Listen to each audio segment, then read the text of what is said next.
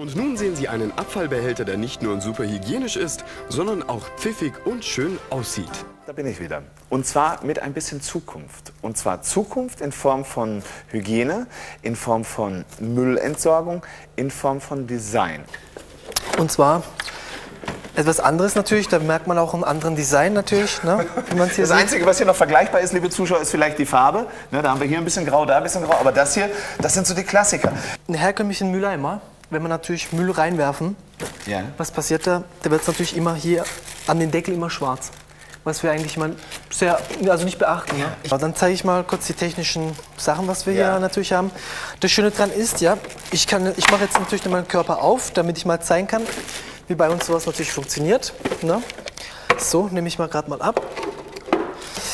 Das ist natürlich ein Weltpatent, was man natürlich erfunden wir hat. Ganz genau, damit es besser sieht. Unsere Mülltüte wird in dem Körper natürlich befestigt. Ja. Ganz einfach, das geht ganz leicht, indem man natürlich diesen Körper hier umklappen. Und? Es rastet schon von alleine ein, wie Ah, man es natürlich super. hört. Ja, genau. Das heißt, dann sitzt ja hier schon fest, liebe Zuschauer. Sehen Sie das? Das heißt, hier kann der Müllbeutel eigentlich schon gar nicht mehr verschwinden.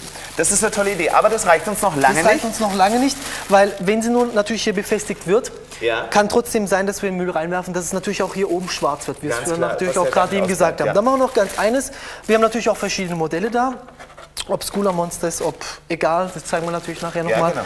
Und wenn es natürlich wieder einrastet, wie man es natürlich hier hört, Super. dann ist es natürlich auch mal äh, natürlich geruchsneutral. Also Ja, das heißt ist also, wenn wir uns das jetzt genau anschauen, Serkan, dann kann man hier jetzt Folgendes erkennen, liebe Zuschauer. Ich halte Ihnen das mal rein. Der Müll passt fantastisch in so einen Beutel hinein.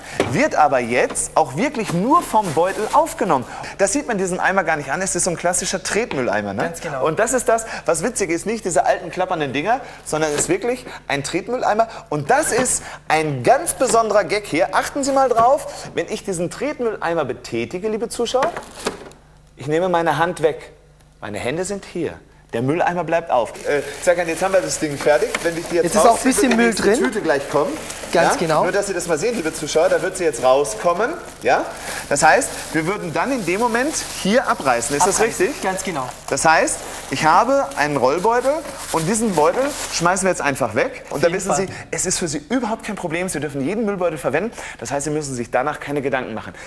Die einzigen Gedanken, die Sie sich machen müssen, liebe Zuschauer, ist über das Design. Denn das ist eine Frage vom Geschmack. Alle Geräte haben dieselbe Technik. Haben die gleiche wichtig. Technik äh, und äh, vom Design sind sie natürlich ein bisschen anders, ob der Farbe, ne? Spielt auch keine Rolle. Hier habe ich noch ein Modell, liebe Zuschauer, für die Kinder.